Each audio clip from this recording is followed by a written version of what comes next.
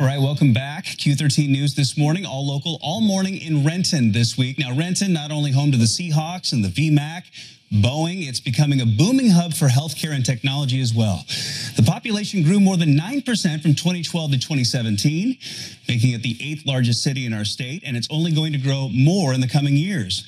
Now, one of the major draws to Renton is Renton Technical College, and nationally recognized as one of the best two-year colleges in the entire country. Now, RTC, a place for folks who are looking to switch their careers, and their mechatronics lab is at the forefront of what's happening now inside a factory. So let's check in with Alexandra Lewis, live, takes us inside. Hi, Alex.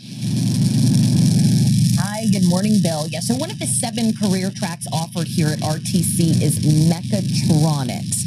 So you know all of those uh, huge machines and robots that have kind of taken over factories across the nation. But you have to keep in mind you need someone to man those machines and heaven forbid fix them if anybody, anything goes wrong. So let's take you inside one of these labs right here. Let's go to the video. Here's the inside of the RTC Mechatronics lab. This is a simulated automated conveyor system.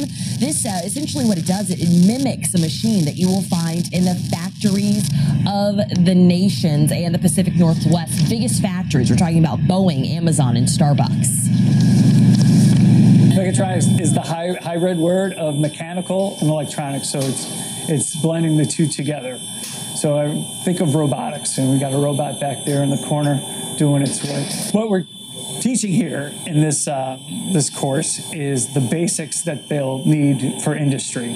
So we start we have a heavy emphasis with communication and um, safety.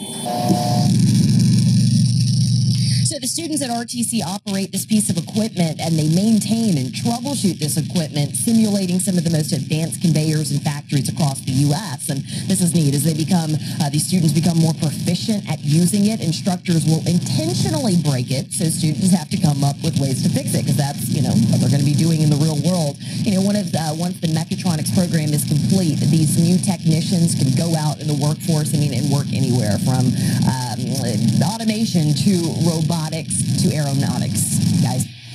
All right, so we, uh, we're having a few audio problems.